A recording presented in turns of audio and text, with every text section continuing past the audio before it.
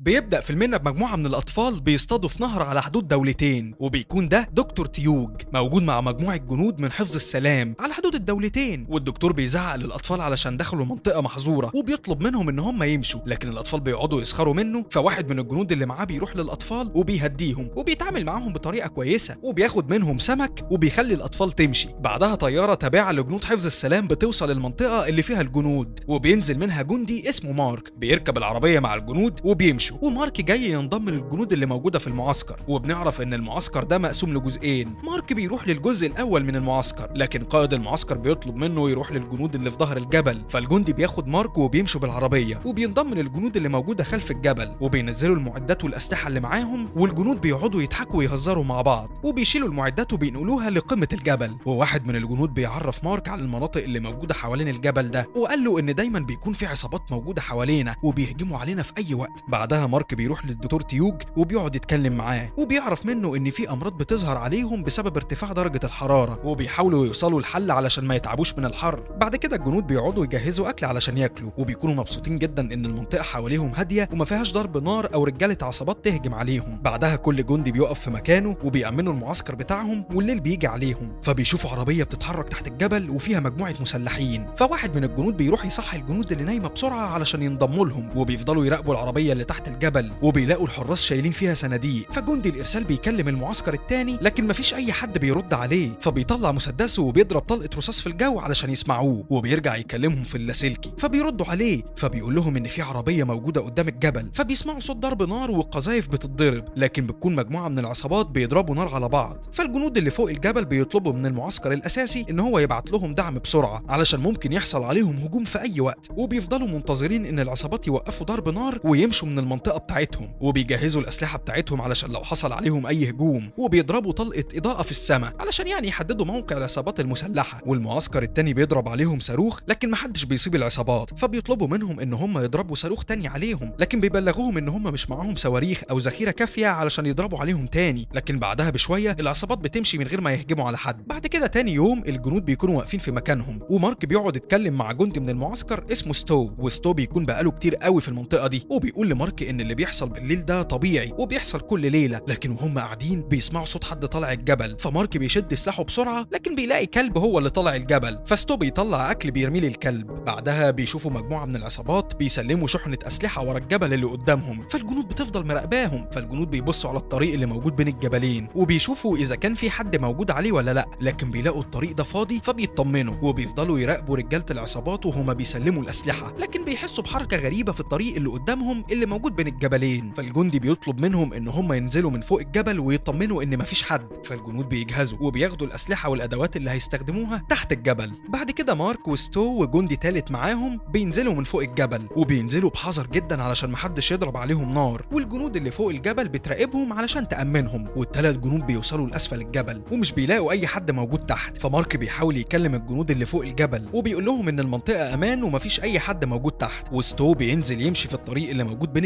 الجبلين فبينفجر فيه لغم. ومارك والجندي اللي معاه بيستخبوا بسرعة. لكن بيلاقوا لغم انفجر في ستو فبينزلوا بسرعة وبيروحوا له. فبيلاقوه عايش. لكن رجله اتقطعت من الانفجار وكمان دراعه اتصاب. فمارك بيربط رجله وبيحاول يوقف نزيف الدم. وستو بيكون متعصب جدا أول لما شاف رجله اتقطعت. لكن مارك بيحاول يهديه وبيشد الشنطة بتاعته وبيتصل بالجنود اللي فوق الجبل. لكن مفيش أي إشارة في الجهاز اللي معاه. فمارك بيطلب من الجندي اللي معاه يرجع بسرعة لفوق الجبل ويبلغهم باللي حصل. وفي الوقت ده الجنود اللي فوق الجبل بيسمعوا صوت الانفجار بس مش عارفين الانفجار ده فين بالظبط فبيحاولوا يتواصلوا مع مارك لكن برضه مفيش أي إرسال في جهاز مارك. فقائد المعسكر قرر ينزل لهم وطلب من الجنود اللي فوق الجبل لو شافوا أي حد قدامهم يقتلوه. وقائد المعسكر بيطلب من جنوده يجهزوا بسرعة وبيروح للدكتور تيوج وبيطلب منه إن هو يجهز شنطة الإسعافات الأولية ويجي معاهم. وبياخد مجموعة من الجنود والدكتور تيوج وبينزل من فوق الجبل لكن الجندي اللي مارك بعته ليهم بيقابلهم وبيقول لهم إن في لغم انفجر في ستو ورجله اتقطعت. فبينزلوا بسرعة جدا من فوق الجبل لكن في الوقت ده مجموعة من الجنود من المعسكر التاني بيكونوا في طريقهم لمارك وستو علشان ينقذوهم. وبنرجع لمارك وستو ومارك بيحاول يوقف النزيف في رجل ستو وبيدي ستو حقنة مخدرة وبيوصل لهم مجموعة من الجنود. فبيحاولوا يوقفوا النزيف اللي في رجله وبيربطوا رجله جامد علشان توقف نزيف الدم. وفي الوقت ده جنود المعسكر التاني بيوصلوا للمعسكر اللي فوق الجبل وبيلاقوا الإشارة مقطوعة فوق الجبل. فبيسلموا جندي الإشارة جهاز لاسلكي تاني علشان يستخدموه وبيطلبوا بيه طيارة تنقذ ستو. وواحد فواحد من الجنود بياخد جهاز تاني علشان ينزل بيه تحت للجنود اللي تحت الجبل. بعدها الدكتور تيوج بيوصل لأسفل الجبل وبيروح لستو علشان يعالجه. ومارك قال له إحنا قدرنا نوقف نزيف الدم لكن حالته مش كويسة. فتيوج بيبدأ يعالج جرح ستو. والجنود اللي واقفة حواليهم بدأت تتحرك من مكانها وبيدوروا في الأرض على مكان ألغام تاني ولا لأ. وبيبدأوا يحطوا علامات في الأرض على اللغم اللي بيلاقوه. بعدها الجنديين اللي معاه اللاسلكي لسه بينزلوا من فوق الجبل. بعد كده واحد من الجنود بيحس إن في لغم قريب منهم فبيطلب منهم إن هم ما يتحركوش. فكلهم ثبتوا في مكانهم والجندي بيحفر بالراحة جدا في الأرض لكن مش بيطلع لغم فالجنود بيطمنوا جدا. بعدها الجنديين بيوصلوا بجهاز الإشارة ليهم والجندي بيسلم الجهاز وبيتواصل مع الجنود اللي فوق الجبل. والجندي بيطمنهم إن المكان ده آمن مفيش حد هجم عليهم خالص وإن لغم هو اللي انفجر في ستو فقائد المعسكر بيطلب منهم إن هم يتحركوا بستو فوق الجبل. لكن الدكتور تيوج رفض وقال له إن هو ما ينفعش يحركوا ستو دلوقتي خالص وطلب منه إن هو يبعت لهم طيارة. بعدها الجنود اللي فوق الجبل بيشوفوا مجموعة من العصابات قريبين من الجنود اللي تحت الجبل فبيكلموهم وبيطلبوا منهم ياخدوا حذرهم. بعد كده الجنود بتدور على المكان اللي فيه ألغام علشان يبعدوا عنه والمكان اللي بيلاقوا فيه لغم بيحطوا عليه علامة علشان ياخدوا بالهم منه. بعدها بيلاقوا حجر بيقع من فوق الجبل وبينزل جنب واحد من الجنود فبيفكروا إن في حد فوق الجبل بيحاول يوصل لهم. وقائد الجنود بينزل يمشي في الطريق اللي فيه ألغام وبيحاول يوصل علشان يروح لستو وكلهم بيكونوا مرعوبين لا يدوسوا على أي لغم ينفجر فيهم لكن بيقدر إن هو يوصل لهم من غير ما ينفجر فيه أي لغم؟ وقال لهم إن الطريق أمان؟ فكل الجنود بدأت تتحرك من مكانها وبيشيلوا ستو علشان ينقلوه للمكان اللي الطيارة هتقف فيه. وبيشيلوه وبيمشوا من الطريق اللي القائد الجنود مشي فيه. وبينقلوه لصخرة عالية وجندي الإشارة بيتواصل مع الطيارة بيشوفها قربت توصل ليهم ولا لأ. بعدها واحد من الجنود وهو ماشي بيكون مش واخد باله. بيدوس على لغم فبينفجر فيه. لكن الجندي الحمد لله مش بيموت وبيفضل عايش. بس برضه رجله بتتقطع. فالجنود بتحاول توصل له لكن واحد من الجنود منعهم وقال لهم إن المكان ده مليان الغام ومحدش يتحرك من مكانه لكن في ثلاث جنود بيوصلوا له وبيحاولوا يعالجوه وبيربطوا رجله علشان يوقفوا النزيف اللي فيها وبيدوروا على الشنطة اللي كانت معاه اللي كان فيها العلاج بس لقوا الشنطة من كتر الانفجار طارت بعيد عنه جدا فالجنود خافوا يروحوا يجيبوها لا يدوسوا على لغم. فواحد من الجنود بيطلع حقنة بيديها له علشان يخدر جسمه وما يحسش بأي وجع. وجندي الإشارة بيتواصل مع الجنود اللي فوق الجبل وبيعرفهم اللي حصل وإن في جندي كمان اتصاب. وبيطلب منهم يستعجلوا الطيارة ليهم قبل ما الجنود المصابة دي تموت.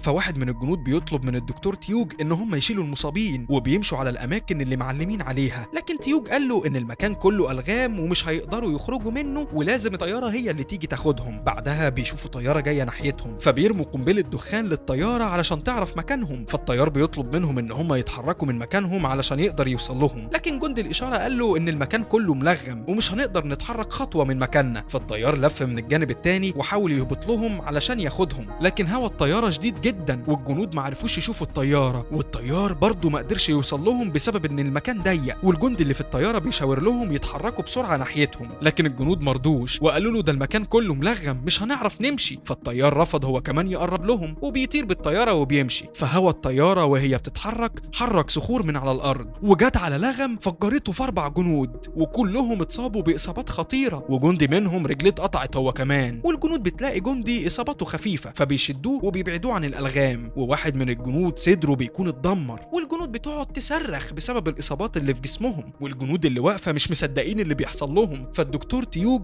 بيطلب من الجنود اللي قريبين منهم يحاولوا يوصلوا لهم ويعالجوهم. لكن هم مش معاهم أي إسعافات أولية. فواحد من الجنود المصابة بيلاقي شنطة جنبه فيها مخدر. فبيزحف على الأرض بحذر خايف لا يدوس على لغم. والجندي اللي بيزحف ده بيقدر إن هو يوصل لصاحبه المصاب. فتيوج بيشرح له يوقف إزاي النزيف وبيخلي جندي يزق له حزام علشان يربطه ويوقف بيه نزيف الدم للجندي اللي صدره متدمر. علشان يعني يقدر يتنفس تاني. لكن بيكون مش عارف يربط الحزام ويوقف النزيف بسبب إن الجندي بيتحرك من كتر الوجع اللي في جسمه. فالدكتور تيوج بيقرر إن هو اللي يروح لهم وبياخد الشنطة بتاعته فالجنود بتحاول تمنعه. فتيوج قال لهم إن أنا لازم أساعد الجنود المصابة قبل ما تموت. ده واجبي. وبيزق الشنطة بتاعته الأول وبيتأكد إن المكان ما فيهوش لغم. وبينط على الشنطة. بعدها بيسحب الشنطة من تحتيه فبيزقها في المكان التاني فبيلاقي برضه مفيش أي حاجة انفجرت. فبينط فوق الشنطة وبيفضل يعمل كده علشان يوصل للجنود المصابة. وفعلا بيوصل لنص الطريق بس بيكون تعب جدا ومش قادر يكمل. بس بيقوم ويرجع يرمي الشنطة بتاعته تاني وبينط عليها. والجنود بتكون مرعوبة. لاحسن مرة ينط على لغم وينفجر فيه هو كمان. ده هو أملهم الوحيد اللي باقي. وفي نفس الوقت ده الجندي اللي رجليه مقطوعة بيفوق من الإغماء اللي هو فيه. وبيبدأ يتحرك من كتر الوجع. فالجنود خايفة يخبط في لغم كمان وينفجر فيه. والجندي اللي جنبهم بيحاول يهديه ويمسكه. بعدها واحد من الجنود بيزق له مية ميه علشان يشرب الجنود المصابة. لكن الجندي بيتحرك من مكانه وبيدوس على لغم هو كمان. وفي الوقت ده الجنود اللي فوق الجبل متعصبين جدا وخايفين على الجنود اللي تحت الجبل. وبنرجع للدكتور تيوج وبيوصل للجنود المصابة. وبيلاقي آخر جندي داس على لغم رجليه اتقطعت هو كمان. وجندي الإشارة اتصاب هو كمان. فبيديله حزام علشان يربط رجله بسرعة ويوقف نزيف الدم. وبيحاول هو يعالج الجنديين التانيين المصابين. وبيوقف لهم نزيف الدم. وبيبص على الجندي اللي صدره متدمر. بيلاقي إن الجندي ده إصابته خطيرة.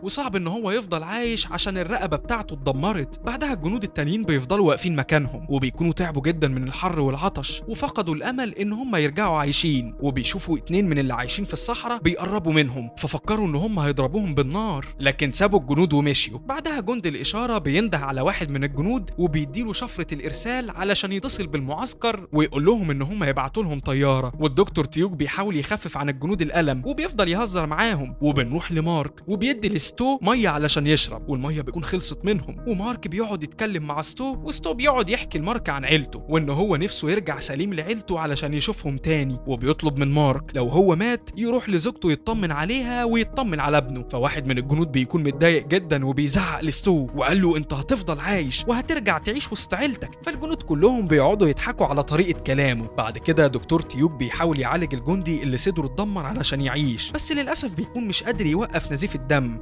فتيوج بيبدأ يتعصب وبيفضل يزعق وهو قاعد مكانه وبيكون متضايق على الجنود اللي مصابة. بعدها الجنود بيفقدوا الأمل إن الطيارة تجيلهم والجنود المصابة بدأت تتأثر من الحر ومش قادرين يتنفسوا. وتيوج بيحاول يلاقي طريقة يخرجوا بيها من المكان ده لكن مش قادرين يتحركوا من مكانهم. والجنود بدأت تودع بعض وتيوج بيقطع كيس المحلول وبيشرب منه الجنود المصابة علشان معهمش مية. وبيلاقي الجندي اللي صدره متدمر خلاص بيطلع في الروح. فالجندي بدأ يطلب من تيوج إن هو يبعت لزوجته الوصية بتاعته لكن واحد من الجنود المصابين بيكون عنده أمل إن هم هيخرجوا من المكان ده. وقال للجنود إن الطيارة أكيد هتجيلنا وهتنقذنا بس الجنود خلاص بتكون فقدت الأمل. بعدها الدكتور تيوج بيشوف الطيارة جاية من بعيد فبيعرف الجنود كلهم وكلهم بيفرحوا جدا إن الطيارة وصلت لهم. والطيارة بتقرب منهم وبينزل جندي الإنقاذ وبيبدأ ينقل الجنود المصابة وبياخد ستو بيطلعه للطيارة وبيرجع ينقل في بقية الجنود المصابة. بعدها الطيارة بتوصل بالجنود المصابة فوق الجبل وبينقلوهم بالعربيات والجنود بيكونوا لسه عايشين وبياخدوهم لطيارة تانية علشان تنقلهم للمستشفى. والطيارة الأولى بترجع تنقل بقية الجنود المصابين وكمان بينقلوا الجنود اللي كانت موجودة في حقل الألغام وبينجحوا إن هم يفضلوا عايشين لحد لما الطيارة وصلت لهم وبيخلص فيلمنا على كده.